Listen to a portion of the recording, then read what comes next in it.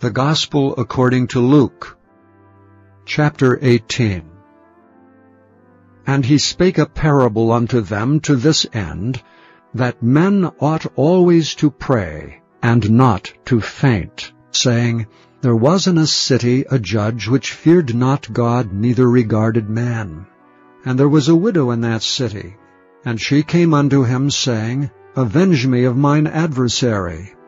And he would not for a while, but afterward he said within himself, Though I fear not God, nor regard man, yet because this widow troubleth me, I will avenge her, lest by her continual coming she weary me.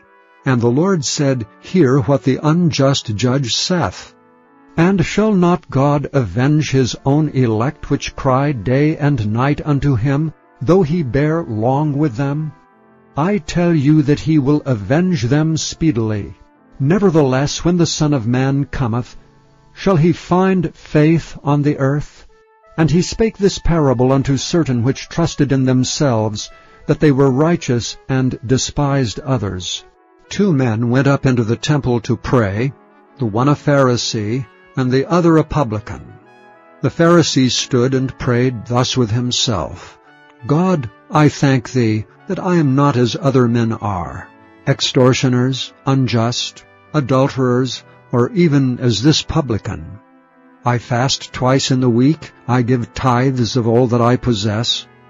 And the publican, standing afar off, would not lift up so much as his eyes unto heaven, but smote upon his breast, saying, God, be merciful to me a sinner.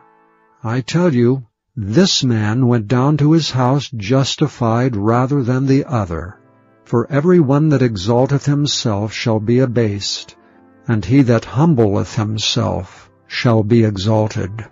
And they brought unto him also infants that he would touch them. But when his disciples saw it, they rebuked them. But Jesus called them unto him, and said, Suffer little children to come unto me, and forbid them not, for of such is the kingdom of God. Verily I say unto you, whosoever shall not receive the kingdom of God as a little child shall in no wise enter therein. And a certain ruler asked him, saying, Good master, what shall I do to inherit eternal life? And Jesus said unto him, Why callest thou me good?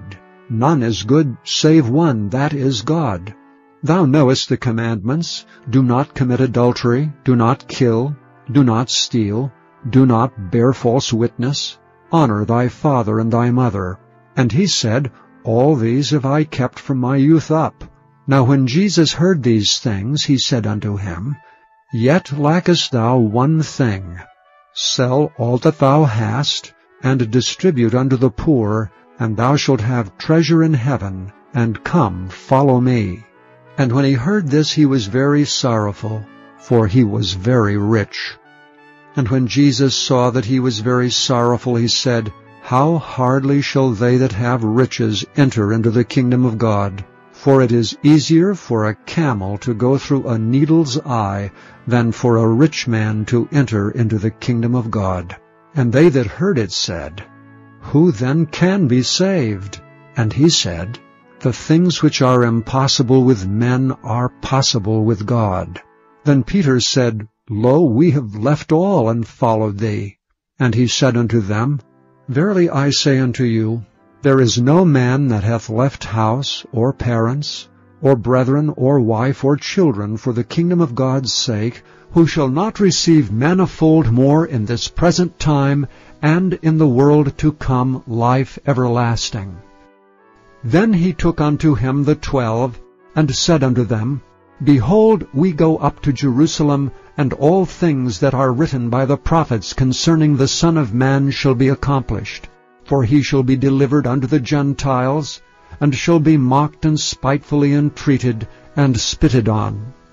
And they shall scourge him, and put him to death, and the third day he shall rise again. And they understood none of these things, and this saying was hid from them, neither knew they the things which were spoken. And it came to pass, that, as he was come nigh unto Jericho, a certain blind man sat by the wayside begging, and hearing the multitude pass by, he asked what it meant. And they told him that Jesus of Nazareth passeth by. And he cried, saying, Jesus, thou son of David, have mercy on me. And they which went before rebuked him, that he should hold his peace. But he cried so much the more, Thou son of David, have mercy on me. And Jesus stood, and commanded him to be brought unto him. And when he was come near, he asked him, saying, What wilt thou that I shall do unto thee? And he said, Lord, that I may receive my sight. And Jesus said unto him, Receive thy sight. Thy faith hath saved thee. And immediately he received his sight, and followed him, glorifying God. And all the people, when they saw it, gave praise unto God.